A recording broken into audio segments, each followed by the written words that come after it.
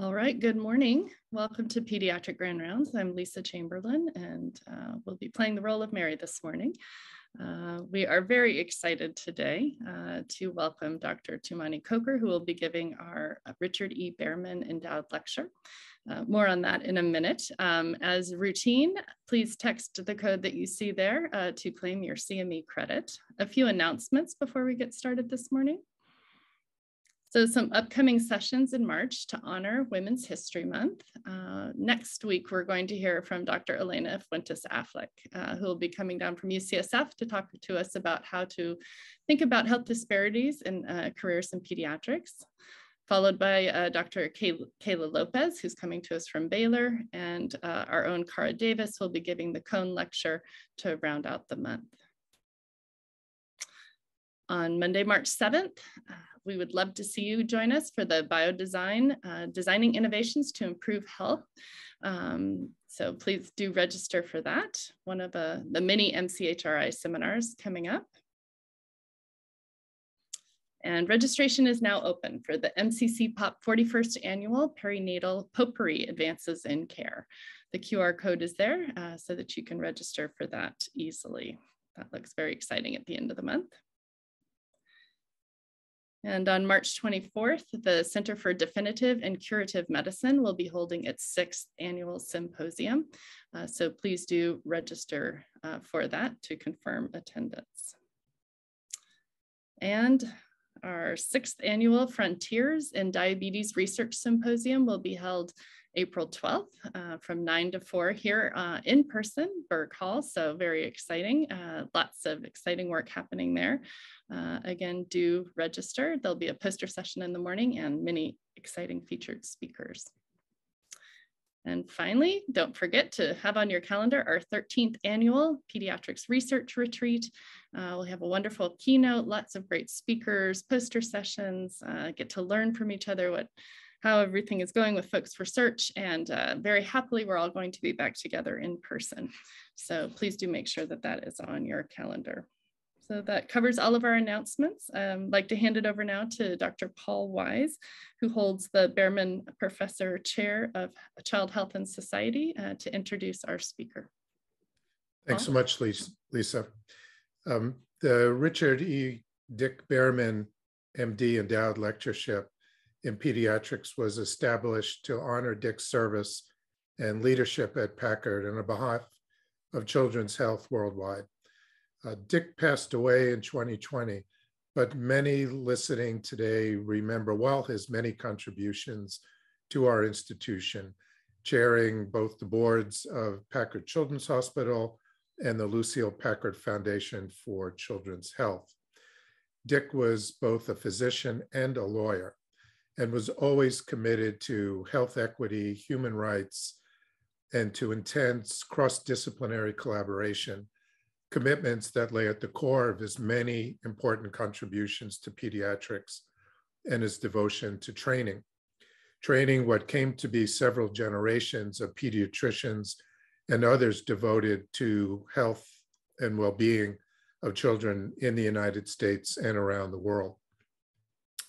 I know he would be delighted to know that Dr. Tumaini Coker is the Behrman Lecturer this year. Tumaini is chief of the Division of General Pediatrics and associate professor of pediatrics at the University of Washington School of Medicine and Seattle Children's Hospital.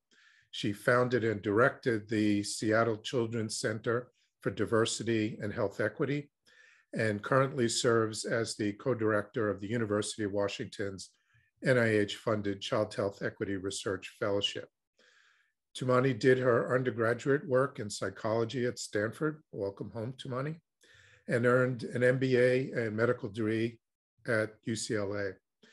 She did her residency in pediatrics at Cedars-Sinai Medical Center and an RWJ Clinical Scholars Fellowship at the University of Chicago. Tumaini's intellect, commitment, and leadership have led to a variety of major national positions, including her appointment to the U.S. Preventive Services Task Force and serving as chair of the National Academies of Science, Engineering, and Medicine's Committee on addressing the long term impact of the COVID-19 pandemic on children and families. Uh, simply put, Tumaini has emerged as one of the country's, country's leading voices in pediatrics, particularly in the redesign of pediatric primary care. A redesign that speaks directly to questions of justice, redesign that will better ensure health equity and the elimination of social disparities in child health outcomes. She conducts highly creative community-based research and significantly is devoted to the translation of this research into innovative yet intensely pragmatic primary care services that directly address community needs and strengths. It is my great pleasure to introduce Dr. Tumaini Coker as this year's Richard Behrman Lecturer. Thanks, Tumaini. Thank you so much, Paul, uh, for that introduction. Uh, it's wonderful to be here in person. Um, even though you may not be able to tell I am in person, I am here on Stanford's campus. Uh, and it's a great honor for me to be the uh, Richard E. Behrman, um, uh, be giving the Richard E. Behrman uh, endowed lectureship um, today. So I um, am quite honored to be able to do that. So uh, let's get started. I want to spend the morning really talking about um, how to integrate community health workers uh, into team-based early childhood preventive care. Uh, and I don't have any uh, relevant financial relationships or conflicts of interest to disclose. So I, I want to start with um, a quick story. And the picture you see here on your screen is is not the family I'm talking about, but it's uh, nicely um, illustrative of what I'll be talking about. So uh, as a general pediatrician and a health services researcher, um, in my research, I partner with community clinics. And so one of those community clinics is in Tacoma, Washington. It's a federally qualified health center. And so uh, one, one day a, a mom came into um, the clinic for her two week uh, newborn visit with her baby. The uh, clinic team identified a number of social um, needs that the um, parent had, uh, scheduled a follow-up visit for a month, and then her well child care visit at two months. Uh, and then the first visit was missed. Um, she didn't come to the clinic. They tried calling her at the phone numbers that they had and they were disconnected. Um, she didn't come for the two month visit and the clinic had assumed they just lost contact with the parent uh, and weren't able to uh, get her any of the contact information they had. And then right around the four months of life for this infant, the mom shows up at the clinic uh, without an appointment and comes straight to the front desk and says, can I see Rosa, please? And so I didn't tell you who Rosa is, but Rosa is a uh, bicultural, bilingual coach, a health coach that the clinic has as part of a, a grant funded project that we did together. And Rosa has been um, integrated into their well childcare team. And so of course saw this parent when they came for their two week visit, made that connection with her. So Rosa comes out, sees the mom, um, finds out that her phone, of course, has been disconnected, which is why they couldn't contact her and she wasn't able to purchase another phone.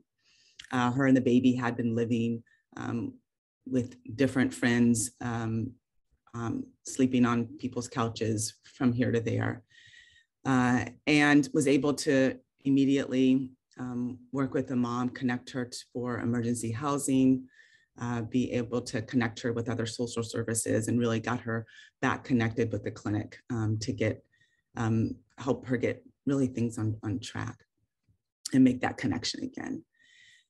And so what I, I love about that story is that it reminds us that for many families, uh, having that single primary care provider is important, but it's not enough. And families will make connections with other members of our team if we allow that to happen and we make it available. Uh, and so when this mother wasn't had a specific need, uh, the person that she chose to ask for when she came to the clinic that day was Rosa. So I want to start here with the, um, this is the report that came out uh, from the National Academies on implementing high quality primary care. And um, so this was a report of the, of the Academy's uh, Committee on Implementing High Quality Primary Care, uh, which I was a part of, came out in last year in 2021 and really talks about how can we implement high quality uh, primary care in the country.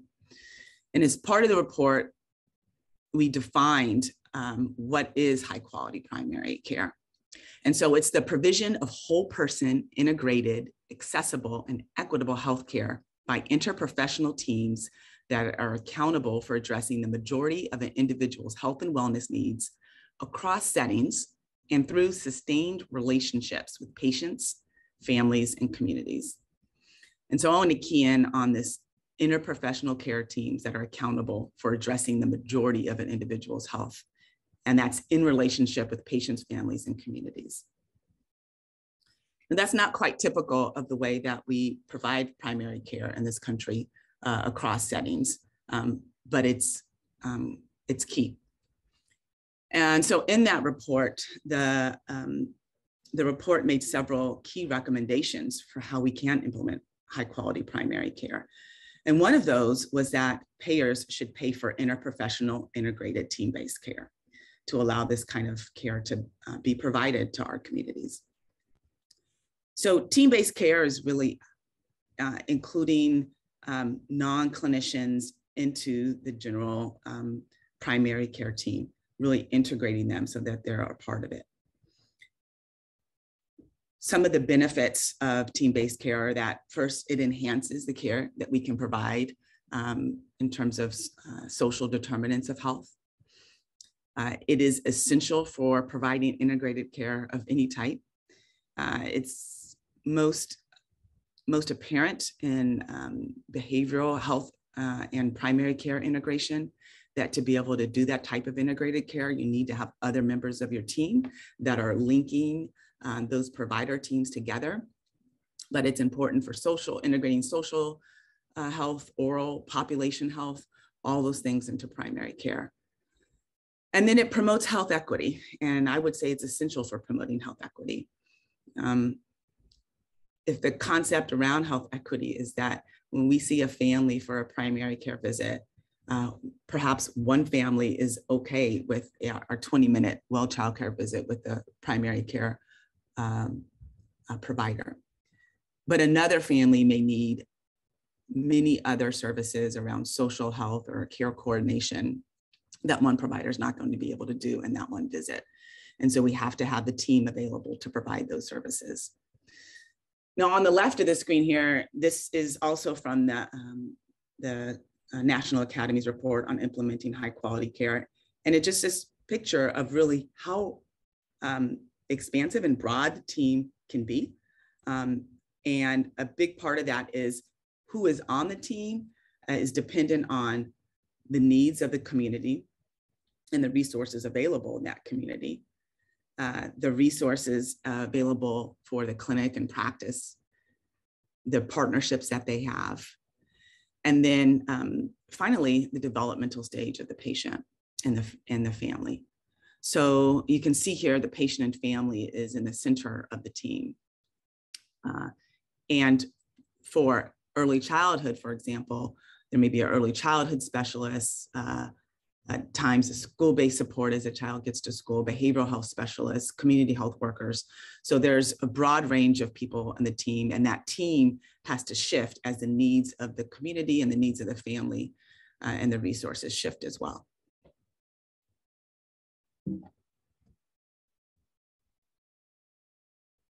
So uh, I'm gonna of course focus on how we integrate community health workers into primary care. And I'm going to talk about community health workers as a large um, umbrella term. Really covers um, generally folks in the uh, role of health educators, health navigators, uh, focused really from early childhood, birth to three services. We have great evidence on uh, incorporating those individuals into uh, primary care. There are plenty of examples and um, evidence on in integrating uh, community health workers into primary care specifically for behavioral health concerns, chronic disease management, in particular asthma, and then social and medical complexity for patients and families. So these are generally community members who are trusted by families and share lived experiences with the families that we care for. They're able to link established resources in the community and those services to what families need in the, um, in the clinic and in the, in the practice. They can provide enhanced communication and coordination with broader teams that extend outside of the uh, medical home uh, into, the, into the community. And they can also be uh, utilized to really provide standardized screening and referral services um, for items found with those standardized screening items. And I'll get into more of that as we hone in on the preventive care for zero to three. So I think while we can make a case uh, for, of course, uh, integrating community health workers into team-based care across primary care, um, uh, really across the uh, age continuum. For me, it's, it's most uh, special for uh, that early childhood stage.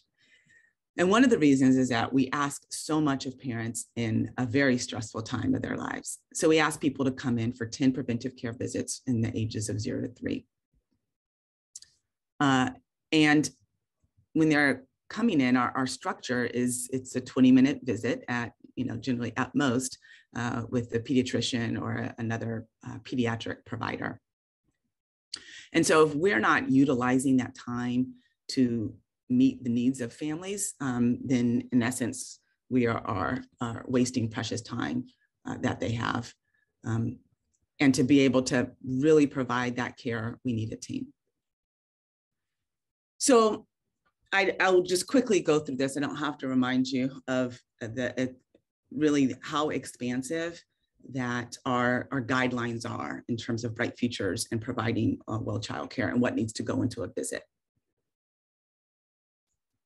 Um, but it's well defined in our um, the AAP guidelines. And of course, includes the history and measurements, uh, physical examination and various procedures um, during uh, early childhood and beyond developmental and behavioral screening, surveillance, and guidance, really to identify, um, first identify risk with a structured screening, and then in between those structured screening um, visits to for developmental, social, including social emotional uh, surveillance, um, but also to help families identify uh, ways that they can and practice ways that they can promote healthy development uh, uh, and, and, get their child to their um, greatest potential in terms of development. Anticipatory guidance, of course, is that one uh, guidance that we're providing to families on things that they have concerns about already or have questions about and things that they really haven't um, started to think about that are looking ahead.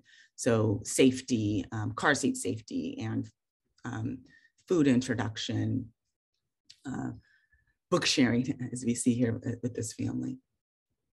And then psychosocial and social needs screening and guidance. Uh, and this was really bolstered in the fourth edition of Bright Futures.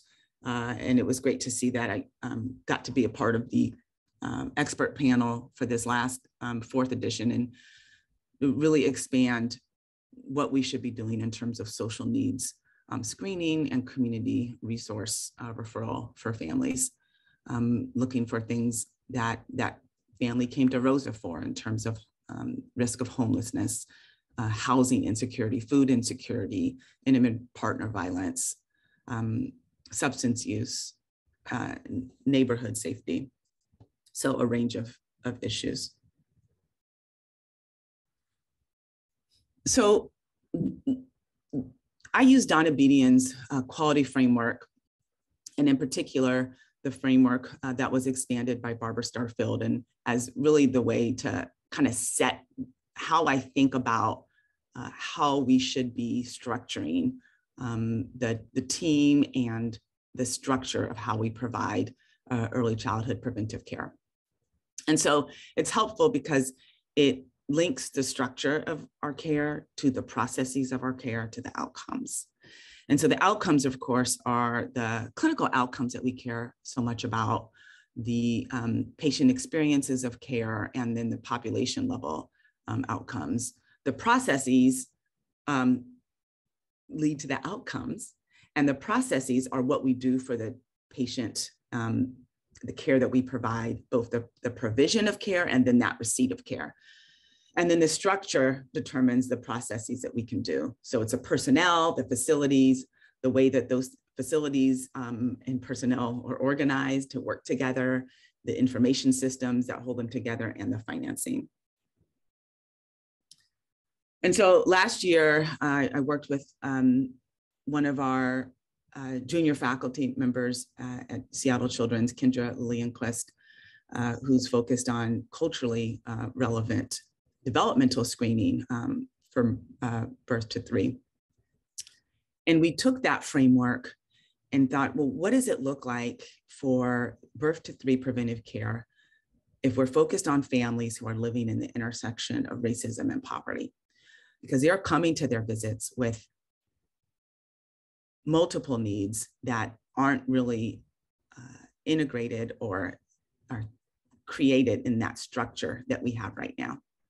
So the outcomes are not surprising, right? It's really how do we increase health and well-being for children and families across developmental domains, um, social needs. So how do we create better outcomes?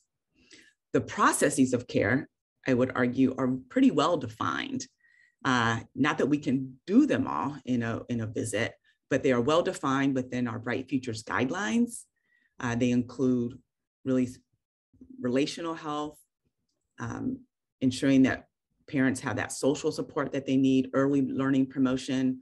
So we have a very good understanding of what the provision of care is. And then for the receipt of care, that's also fairly well defined because we have um, the, the real tenets of the uh, patient-centered medical home that define receipt of care as accessible, continuous, comprehensive, coordinated, compassionate, compassionate, and culturally effective. But then it's that structure that supports the process that we kind of are faltering on. So to have this level of a process for a visit, we have to have a structure that can support it. And that structure would be team-based care because one person is not going to be able to provide all these services in one visit, regardless of how long that visit is, um, particularly for families uh, that are living in the intersection of racism and poverty. And I'll talk a little bit more about that. The facilities need to include um, connection and coordination with our community resources that families are going to need um, for to meet, to meet their, their own needs. Um, places like early learning centers, all really connected and working with the clinics and the families. Uh, and so what we end up with is that we have a process for early childhood preventive care without the structure uh, to support it. And so eh, that's where these team-based approaches to care really come in, um, in terms of uh, team-based team-based approaches to care that emphasize relationships that are ongoing and continuous uh, and integrated within uh, our primary care system. And so eh, what is interesting is that we have a lot of data that team-based approaches to care work not only in uh, pediatric primary care, but in primary care in general. And specifically for zero to three, there's um, many uh, areas that have um, looked at and, and, reported in the literature uh, effectiveness in terms of um, showing that these team-based approaches, team-based approaches to care uh, are effective for increasing the services that families receive in a well child care visit, um, expanding uh, the services that they do receive in terms of social needs uh, and referrals, developmental services, uh, being more up to date on well childcare visits, uh, up to date on immunizations, changing parent behaviors uh, in terms of more positive parent, parenting techniques, uh, and reducing emergency department visits in between those well childcare visits. So there's the, ev the evidence exists for these. Dulce is a program that uses a family specialist who becomes part of the primary care team to see um, all families um, from the uh, newborns uh, on in that um, first several months of life. Healthy Steps is a, a national a program that you may be aware of. It incorporates a Healthy Steps specialist in a tiered model of care where the Healthy Steps specialist uh, sees patients uh, based on uh, family need identified by the provider in that zero to three area. And then I'm going to talk about a community uh, engaged uh, design and, and implementation of uh, using a parent coach and an intervention that we've been working on for years now called Parent Focus Redesign for Encounters Newborns to Toddlers. And it incorporates a parent coach into all well child care visits um, from zero to three. And, and there are others uh, as well um, that they may have time to just cover a couple other approaches to how to do this kind of team-based care and integrate community health workers into primary care towards the end. Um, but I want to focus in on an example for a few minutes of what this looks like on the ground uh, in one example. So I started this work um, in Los Angeles when I was a faculty at UCLA and really working with three uh, community clinics. One was at FQHC, two were community practices that served 95% plus Medicaid uh, insured kids. And the providers and the administration and kind of leadership of those clinics recognized we are seeing families who um, are dealing with um, multiple social needs, living in poverty, and have uh, faced the, the historical marginalization um, that comes with being of color in this country. And so they're coming to their visits with a lot more needs than can be um, addressed really in our current structure of care. And I think as providers, they recognize that and said, you know, we don't want to be, we want a different way to be able to provide care, knowing that working in this current structure is not working for us and it's not working for the families.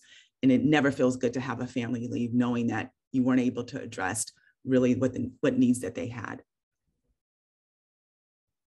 So we started with these practices um, in terms of really starting from the beginning on what do families need?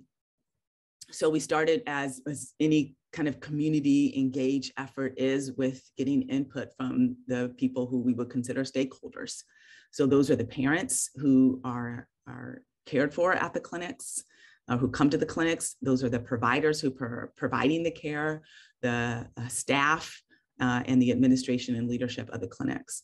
So really finding out what are their um, challenges and barriers and and how would they restructure the way that they provide care uh, to make it better.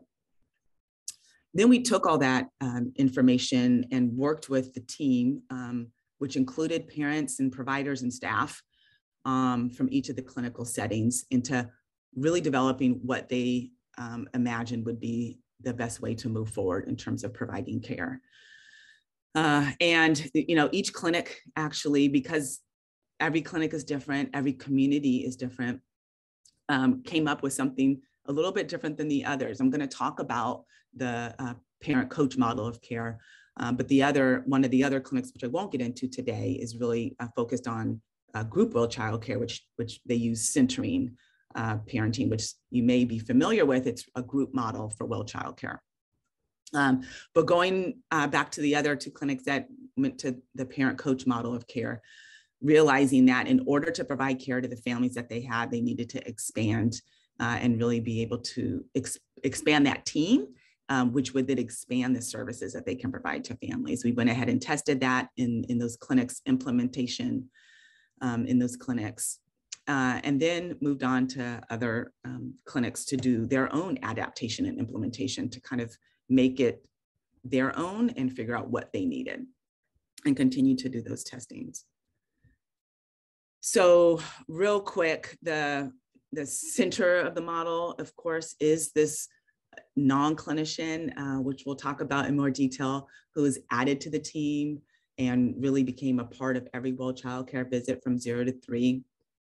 Person relies on a pre-visit tool, um, which has evolved to allow them to structure the visit uh, to the family's needs Uh, and then we use a text message service to keep that communication and education going uh, throughout between the visit times, and then really in, incorporating that into the physician, the clinician encounter. So I want to walk you through what the visit looks like um, to give you an idea of how this a team can work together to provide a zero to three well childcare visit. So the family uh, comes into the clinic, will get weighed and measured and put into the exam room. And the first person they see or talk to, um, and I'll talk about the COVID um, kind of complications of it, um, is the is the coach, um, who will start with identifying okay, what are the parents' um, primary needs for this clinic visit today, um, what are their concerns, uh, and then addressing those, which may be uh, you know things like maybe crying or, or introducing foods. Um, maybe there's behavioral concerns for a toddler, but whatever those concerns are, really addressing those initially. And then helping the parent understand what are the kind of anticipatory guidance topics that would be uh, relevant for that child's age, addressing some of those that um, the coach deems important or the team really deems important for that age group, and others that the parent identifies. Uh, and then going on to the developmental screening, if it's a visit that requires a structured, standardized developmental screen, helping the family complete that, like the ASQ or the PEDS, scoring that and identifying uh, when there is a, a, risk. When there's not a structured screen, um, either for development or a social emotional screen, um, using milestones to help see if that child's on track. And then also providing that guidance and education for families on how to promote healthy develop, development in the uh, multiple domains of development, including social emotional health. Um, then finally, focusing on social um, needs, psychosocial needs, de uh, depression screening for the parent, um, and then social needs at each visit from food insecurity to housing insecurity, uh, intimate partner violence and such. And then when there is a need that is identified, particularly the social and psychosocial needs, um, that coach has the ability to immediately provide those community resources. And then after the visit, also circle back to the parent, find out if they got those needs um, addressed, and if not, how they can either find another community resource um, or help them make a connection to that community resource. Now, everything that the coach does is, is uh, put into the, the EHR in a template um, so that it kind of populates um, the encounter form. Then the provide, then they'll go to the next patient and the provider comes in, can see the uh, encounter form with what the coach has discussed, which uh, risk factors um, have been identified, what social needs rather have been identified or other needs, um, whether um, there's uh, developmental risk that needs to be addressed. They can focus in on uh, one or two things to emphasize that the parent coach maybe already did in terms of education, uh, re-emphasize that, do some, uh, find out if there's any clinical needs that the uh, family has and kind of wrap up that visit. Um, during when COVID uh, hit, particularly when we were still seeing, you know, that zero to three in um, in in the clinic and even some telehealth. The clinics that we worked with did use phone, so the coach often would do their her whole thing via phone, um, and then either the family would see the provider also sometimes via phone or via telemedicine or in the clinic. Um, so that has really expanded the way that uh, that interaction with um, the coach as a member of the team uh, can occur. The pre-visit tool is really um, expanded in, in how we utilize that. We started off with that first with the first two practices in Los Angeles using a, the Well Visit Planner, which is a, a web-based tool um, that was created by the Child and Adolescent Health Measurement Initiative under Christy Bethell in Oregon at the time. Is uh, they're now at, at Hopkins. And it's based on Bright Futures and really allows families to identify kind of their anticipatory guidance needs. Um, we were able to um, do translation for Spanish so that um, uh, we could be uh, utilized uh, by our Spanish speaking families. Um, and it has social needs uh, identified as well. So really is a way to structure the visit so that families can um, identify the things that they want to talk about ahead of time, and then the coach can see the um, the needs that are identified as well. Um, in this next kind of iteration, as we moved on, and I'll talk a little bit more about the implementation and how other clinics have adapted the, the coach uh, intervention. They've moved to using the Bright Futures um, tool, which you can find online and is new for the fourth edition. Uh, at the time, they took that uh, third edition tool and really enhanced it to be able to address more social needs uh, and do some developmental milestones in between as they use the ASQ for developmental screening. So that as, a, as the families uh, fill out or with the coach fill out the pre-visit questionnaire that um, one-on-one coaching with the coach occurs as they identify those needs. The text messaging um, portion of the intervention is really to keep that communication going uh, in between visits. It's based on the child's birth date, uh, the language of the family, and the clinic that they attend, so that the messages are age appropriate and give them a way to connect back with their uh, clinic if there's a need. So, for example, there may be um, there are automated messages. And let's say at six months they reach out to the families you know um, talking about um, are you feeling blue? Do you need to talk to someone? Here's the number for your coach you know um, and you can call you know this number if you need uh, some support. So those are um, you know the messages go from uh, promoting things like book sharing um, reminders on flu visits uh, uh, flu shots. So really just keeping that connection, emphasizing um, some of the anticipatory guidance topics that were discussed during the visit. Once those initial clinics kind of created the process of how they wanted to provide the care. So then the next thing we did was, um, you know, as researchers do, uh, start a, a randomized control trial to really pilot and see what the effectiveness of this was looking like. And what we found, so we did the randomized control trial of the intervention versus usual care, um, enrolled families when they had a baby who was 12 months or younger, and then they stayed in the study for a 12 month period. Um, and essentially, the main findings were that families in the intervention performed better on the receipt of well child care. Uh, they received more anticipatory guidance and health education more so psychosocial screening and uh, more likely to receive a structured developmental screen. They reported better patient experiences of care in terms of helpfulness of care and family centeredness. And um, we saw a 50% reduction in the number of families who had two or more um, ED visits.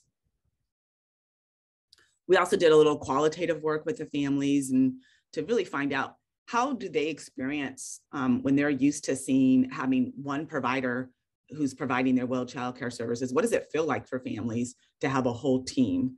Um, and interestingly enough families really kind of got it almost right away um, that each member of the team had a distinct um, service that they were providing. I think when people think about including a non-clinician as part of their primary care team um, they are, you know, there's some concern, well, will the families ask the community health worker clinical questions that, you know, they're not comfortable answering. And we didn't find that at all. The families really, um, uh, re really understood the different services that each kind of team member was providing and appreciated this kind of larger team-based approach to care that was being used. Um, they weren't at the clinic for a shorter period of time, um, but felt like their time was more efficiently used throughout. Um, they were able to develop a trusting relationship with the, uh, with the coach.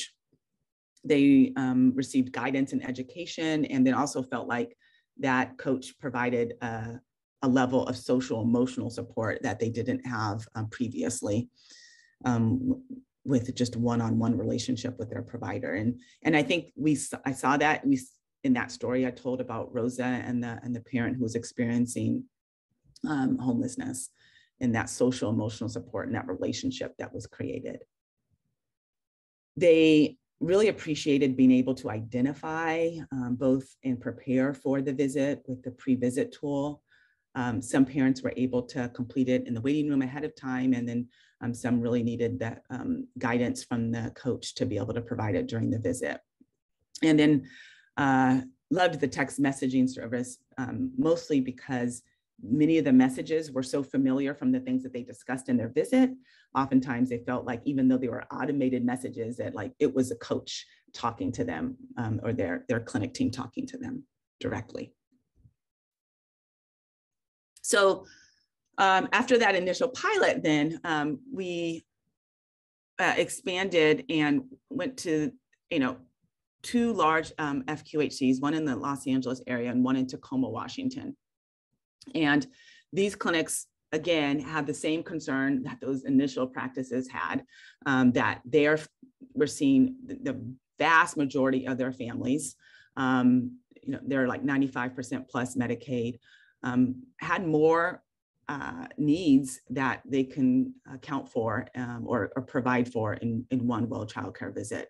And we're really concerned that families were leaving the clinic with unmet, um, particularly social needs, um, but um, also the needs in terms of uh, development and behavior for their infant and child.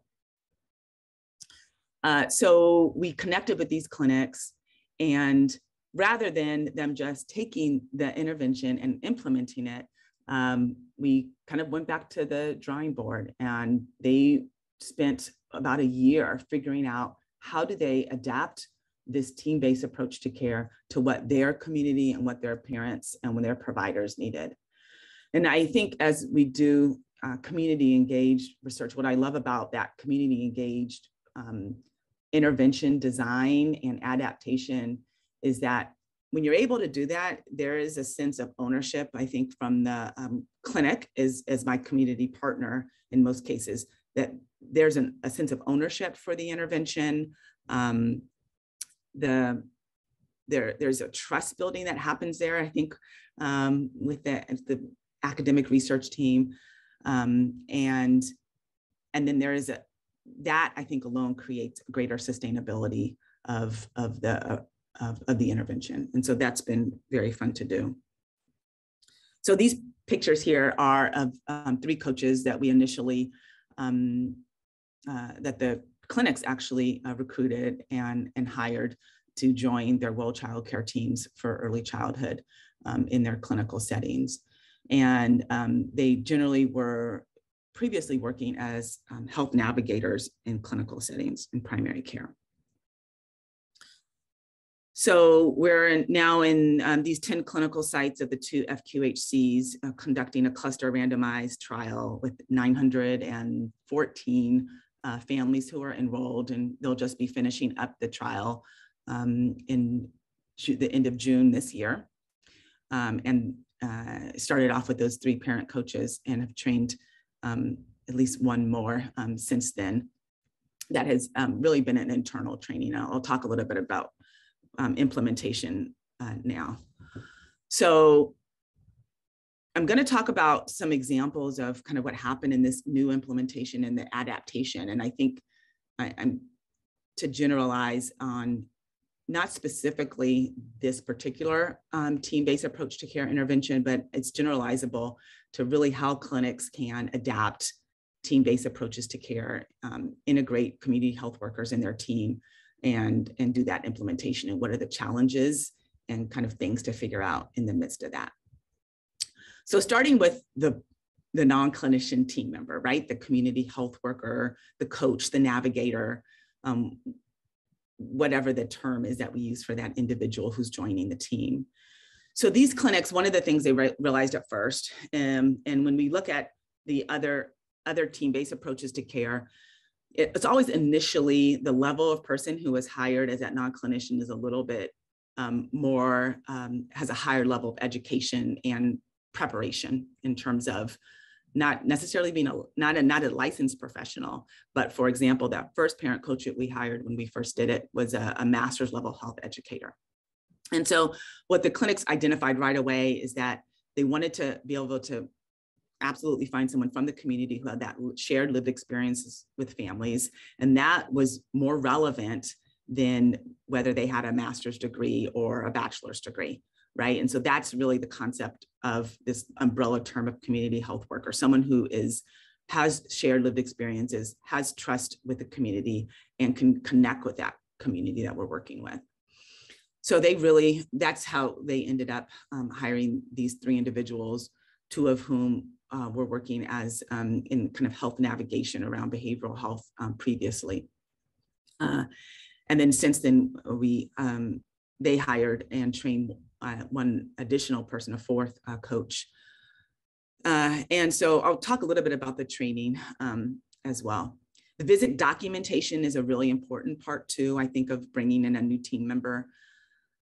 Having that pre-visit questionnaire integrated into the EHR was really important to the clinics and I think really transformed the way that the, the coach could work with the team so that their the communication with the coach um, particularly when there's when it's asynchronous, right? So in many cases in COVID, they had to do their visit on the phone, but to be able to have that encounter started so that when the provider sees the patient, let's say the next day or, or two days later, they have that information available. And if needed, they can do a warm handoff that's verbal, but oftentimes that communication can happen within the clinic encounter. It also allowed the coach to be able to fill out the developmental uh, milestones, the social needs, the anticipatory guidance, what they talked about, and have that right in the encounter and not living someplace else. Um, most of the clinics also um, implemented a social, a specific social needs systems in terms of that communication with the uh, clinic, um, excuse me, the community resources, because what they were finding um, previously is that uh, when we make a community referral resource, if the parent doesn't actually make it to that community referral resource, you know, in the essence of referral was never made. So it helps that not to be that drop off um, and so that they can check back and see, okay, did the parent make it to um, the food bank? And if not, um, what was the barrier and how can we kind of address that for this parent and then for other parents who get that same referral later. So that's another important thing to think about. We really rely on the training, right? So Bright Futures is really important. So you can take um, a community health worker who's maybe worked in the um, even adult primary care, and because they have these um, um, base, they, they have the, the ability to connect with community, connect with families, uh, but really just need that um, uh, training in terms of uh, preventive care on the health promotion themes and Bright Futures, the visits and the competence, and we did competency assessments. And then really to get them integrated with the team, starting with observations of visits, going to mock visits, practicing with the EHR, and then going to precepted visits and then visits with feedback. Um, that's kind of the process we went through in bringing um, the community health workers up to speed with the teams. Uh, that training around the community resources and screening is really important. Um, because again, if we're addressing social needs and we're making community referrals, the referrals are only as good as the places that are being referred to and whether families can make it there. A couple of other things that I think are really important for the implementation of the team-based approach to care is getting the, the coach to provider ratio correct. Um, and this is, it's dependent on the volume of um, zero to three that the clinic sees, which of course can vary. It's very different for a, pediatric, uh, a clinic that has a pediatrician or pediatricians working versus family um, medicine providers. So there's fewer um, uh, babies in the visit. Um, in many cases, when we're working with family medicine clinics, um, those coaches actually receive training to see older kids as well um, and maybe do social needs screening for school age kids. Maybe we'll do, um, in some cases, we're trained to do um, more uh, uh, health education around things like um, healthy eating and um, physical activity. And even one clinic trained our coach um, to be a part of uh, team visits and focus on the heads exams. Um, and then the scheduling, um, the templates are going to change when you include another person on your team who's doing things. So one of our pediatricians who's working essentially one-on-one with a coach um, because of her clinic setup ended up adding two additional visits in a half day for her because she was just being more efficient um, with those visits. And then another uh, clinic changed their um, visit template from 20 to 15 minutes. They're just able to, um, the visits, the time that the family spent in the clinic wasn't less because they had that time with the coach, but that's that the visit slots were changed to allow um, for that more team-based approach to care. It's really important to think about how we integrate um, uh, team training. So in particular, uh, if we just take something like the developmental structured screen, it goes from the MA, making sure that the family has the, let's say the ASQ to the coach, ensuring that it's completely filled out and, and scored, and then the provider on really making that determination of what to do based on the um, developmental risk that's identified on the screening.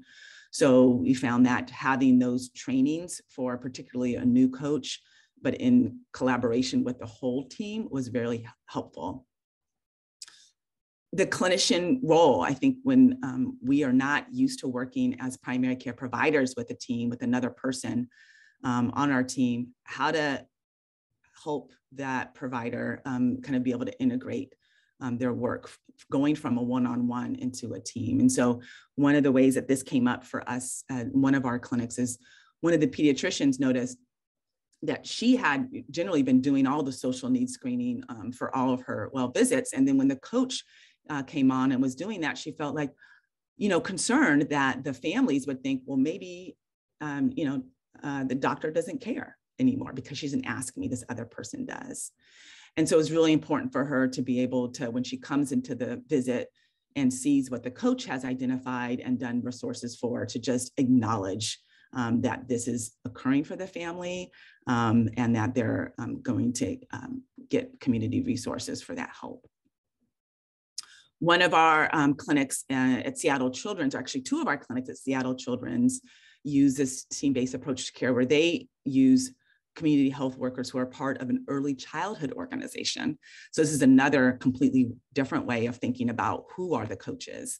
And they, um, they're navigators or early childhood navigators that are part of this um, external community organization that focuses on early childhood. So they're trained there and then they deploy, deploy them through a grant at these two clinical sites and essentially become part of that team. And most of their work is done via phone um, with the families prior to a well child care visit. So there's a number of different ways to think about where the community health workers are coming from. And then lastly, the tiered versus universal, that's an important thing to figure out. And some of that has to do with the availability of that community health worker's time on whether all families will see that person um, or it will be kind of a tiered system where the provider determines um, how it is done. And I think when you have a, a generally high need population, the universal uh, makes a lot more sense.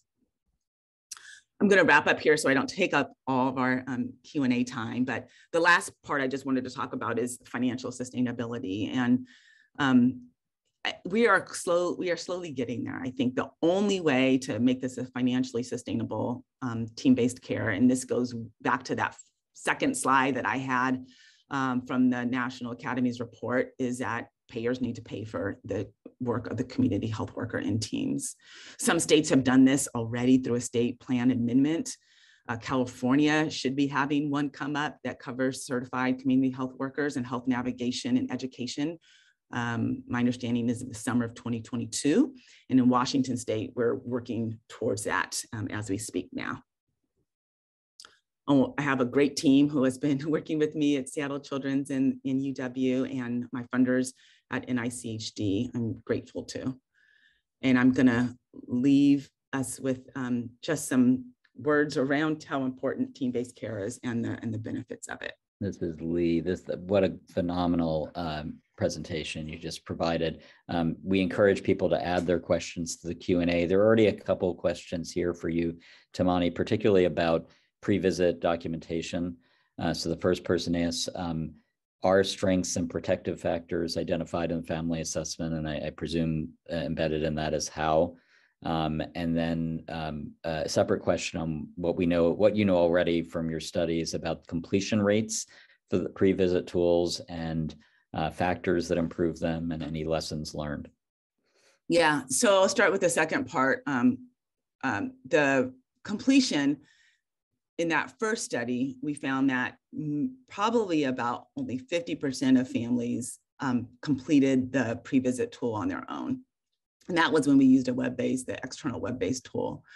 As we moved to the paper tool with the clinics that are the 10 clinics now, um, the completion rate is much higher um, because they're doing it right um, when they come in um, on paper uh, in many cases. But there's still, I think, a good number of families that are not going to be able to complete it.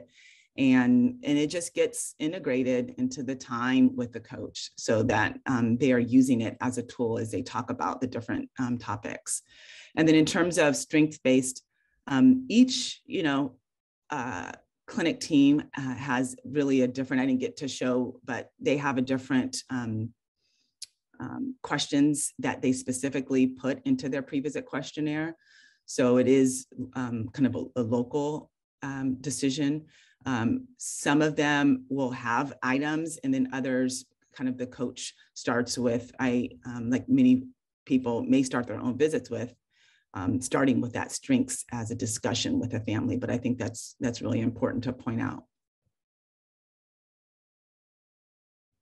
We still welcome other uh, questions uh, from the attendees. So here's one that just uh, came in. Um, uh, curious if you can comment on how interventions like this could be translated into the hospital setting. For example, linking community health workers for, with infants in the NICU prior to discharge. Mm, that's great. Um, I, I think uh, if that that linkage right allows families to make that smoother transition and maybe not only you know not for nicu babies only but for kids with complex needs and think about um, our kids that are in and out of the hospital for complex um, medical complexity in a sense it's like a um, we do have like we have a navigation program at seattle children's and you may have something similar.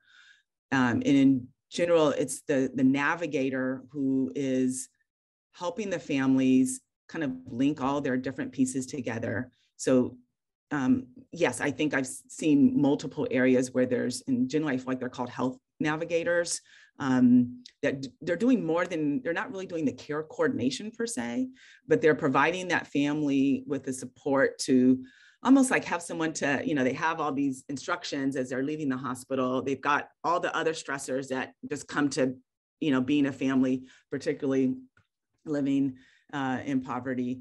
And so having that connection with a person that maybe they have a um, more shared lived experiences with, um, a different uh, trust, a different type of relationship that they can go back when when things don't kind of work out the way that they think they are. I think we all have been in the case where um, families maybe hesitate to ask their primary care provider uh, something that they think is too simple or not worth the time to call the doctor for. Um, and so that's, I think, where that community health worker can really add so much in that, you know, they might call them for something that seems small, but that in the grand scheme of things can keep them out of the hospital.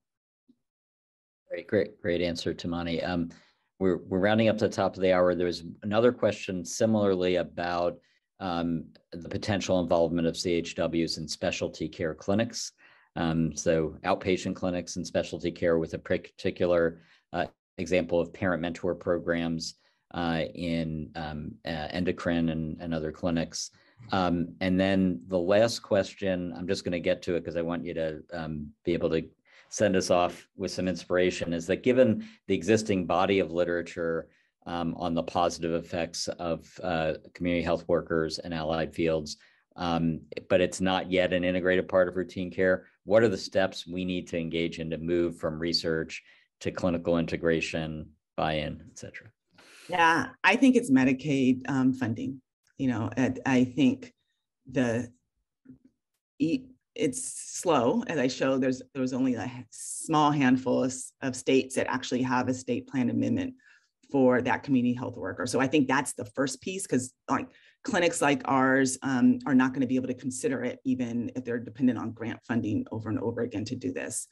And then I think the second part is that implementation is a kind of a big hurdle for clinics. You're busy, you're already seeing a ton of patients and doing the best you can. So many times as in my role as a researcher, I'm coming in, I'm I'm able to kind of put the group together, move things forward, almost like, you know, just project management, getting it done.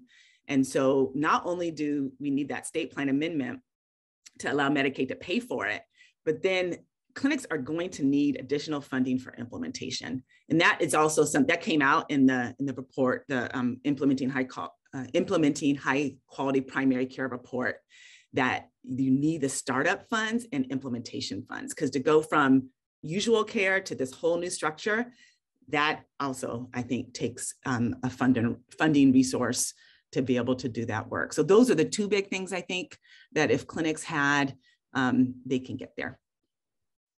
Well, thank you, Tumaini, uh, again for a wonderful talk. Uh, to echo Paul's comments earlier, for your your intellect, your commitment, and your leadership on all of these things, and for being our Behrman lecturer this year. Um, we really are very grateful and uh, look forward to learning from you uh, for the rest of the day and moving forward beyond that. Thank you. It's wonderful to be here, and thanks for having me. The preceding program is copyrighted by the Board of Trustees of the Leland Stanford Junior University please visit us at med.stanford.edu.